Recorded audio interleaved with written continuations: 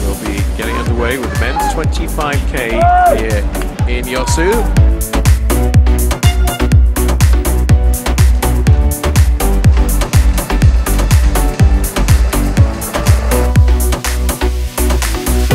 tight between the top five. We're going to get another timing point and Rasovszky is back in front according to the timings. Well, got Hungarian 1-2 now. Kristof Rasovszky swam a very intelligent race because for a little while he just took a breather.